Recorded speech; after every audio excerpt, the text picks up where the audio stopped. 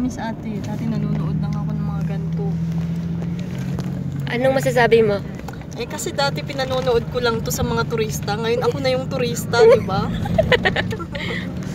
Miss, anong masasabi mo? Ay, tumingin ka naman.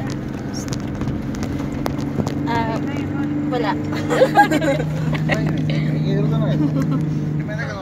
Nakakatuwa. Yun pala ngayon ah. ah Ikagirte, eh, igram ako.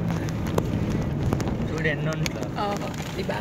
Wala pa nga, eh, sasakay pa po kami ng camel. Ah, patupan po siya. Ano nga pala si Ate Melly? Ako nga pala yung kasama niya. Wow. Ito yung si Manong driver. Ay! Ay!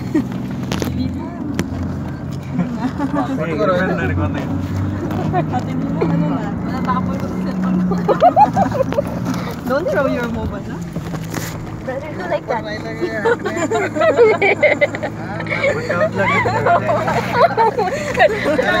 Just going on with us.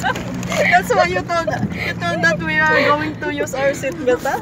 Because it's coming like this.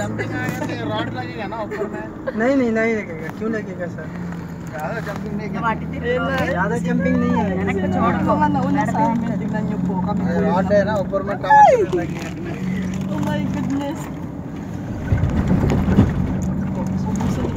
Sa kanila. So, yun naman. Ang gulo ng camera kasi po, maalog po yung sasakyan.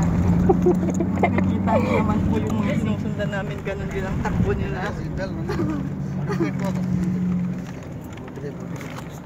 Yan po, may pababa, may pataas po, yung grupo po namin.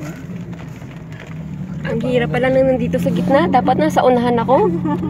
Ang daya nung nakaupo sa unahan. Kaya nga. Ako, eh, sa atiliman. Ako, sa eh,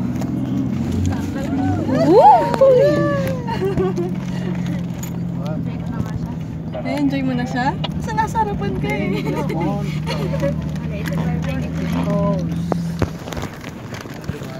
Auntie, isa ba yung gara? Kaya yeah, mahirap. Nakapag-jowa ka ng kapal. Para free rides ako dito. Saan na pala nagtahan? Magaling yung driver nito. No? Ay!